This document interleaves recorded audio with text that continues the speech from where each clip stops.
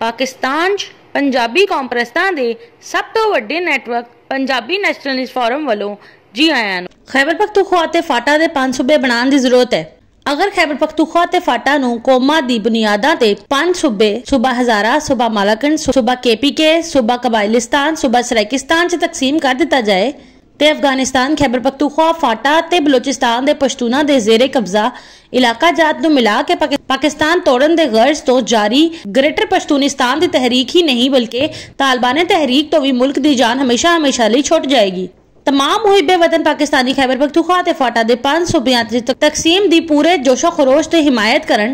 पाकिस्तान मुखालिफ तो सी पसंदाना अजाइम रखन वाले पश्तून सियासी लीडर ते पश्तून सियासी पार्टियां इमरान न्याजी ते तहरीके इंसाफ असफंदयार वली या अवामी नेशनल पार्टी महमूद खान अचकजई या पश्तूनख्वा मिली अवामी पार्टी मंजूर पश्तीन या पीटीएम ਖੈਬਰ ਪਖਤੂਖਵਾ ਤੇ ਫਾਟਾ ਤੇ ਕਬਜ਼ਾ ਕਰਨਾ ਚਾਹੁੰਦੇ ਨੇ ਕਾਲਾਬਾਗ ਡੈਮ ਨੂੰ ਬੰਬ ਤੋਂ ਉਡਾਣ ਦੀ ਧਮਕੀਆਂ ਦਿੱਤੀ ਜਾਂਦੀਆਂ ਨੇ ਪਾਕਿਸਤਾਨ ਬਚਾਣਾ ਹੈ ਸੂਬਾ ਹਜ਼ਾਰਾ ਸੂਬਾ ਮਾਲਾਕੰਡ ਸੂਬਾ ਕੇਪੀਕੇ ਸੂਬਾ ਕਬਾਇਲਿਸਤਾਨ ਸੂਬਾ ਸਰਾਇਕਿਸਤਾਨ ਬਣਾਉਣਾ ਹੈ